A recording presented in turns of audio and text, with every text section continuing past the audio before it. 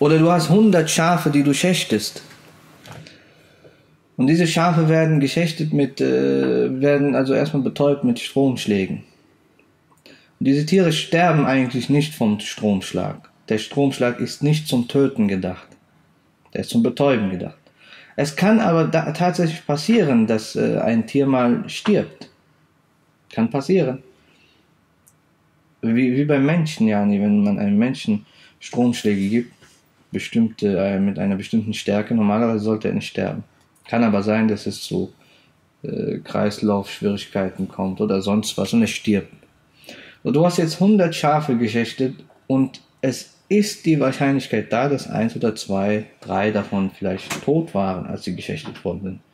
Sagen wir jetzt die ganzen 100 Schafe auch wegschmeißen wegen dieser Eventualität. Das ist auch Waswasser. Das ist Waswasser.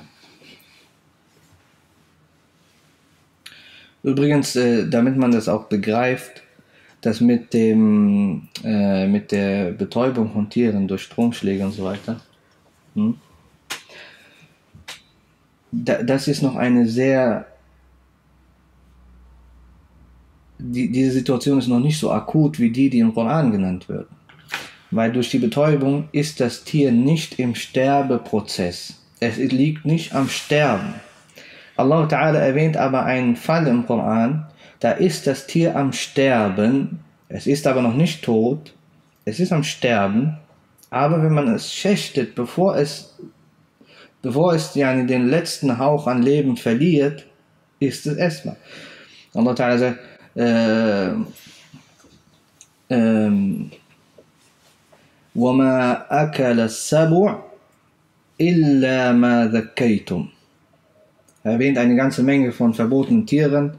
Al-Natihatu al-Mutaraddiya, al-Mawquda, Tiere, die gestürzt sind, Tiere, die durch, äh, durch Stoßverletzungen sterben, Tiere, die erwürgt werden hm, und dadurch sterben, die sind alle verboten, weil sie Kadaver sind. Dann erwähnt er am Ende, am Ende der ganzen Beispiele, وَمَا أَكَلَ السَّبُعُ und was von Wildtieren, Raubtieren angegriffen wurde, angefressen wurde, إِلَّا مَا ذَكَّيْتُمْ außer das, was ihr davon geschächtet habt.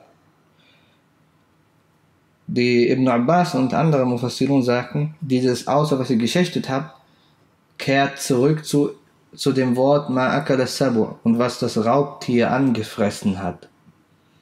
Also es ist nicht eine neue, neue Art von Tieren, was sie geschächtet haben, sondern eine Ausnahme von dem, was das Raubtier angefressen hat. Das heißt, er sagt, wenn Raubtiere ein Tier anfressen und das Tier verblutet und du schächtest es, bevor es stirbt, darfst du es essen.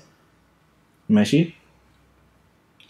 Ist das eine akutere Situation oder ein betäubtes Tier, das lebt? Alles funktioniert bei ihm, sein Herz klopft, Mensch, sein Gehirn funktioniert. Es ist lediglich betäubt und ich schächte es. Warum soll das verboten sein? Warum soll das nicht essbar sein? Es geht nicht um die Frage, ob man das machen soll oder nicht, nur mal so. Ob das Betäuben legal ist oder nicht, das ist nicht die Frage, aber wir reden davon, wenn ein Tier betäubt wurde und geschächtet wurde, ist das halal. Das Fleisch ist halal. Khalas?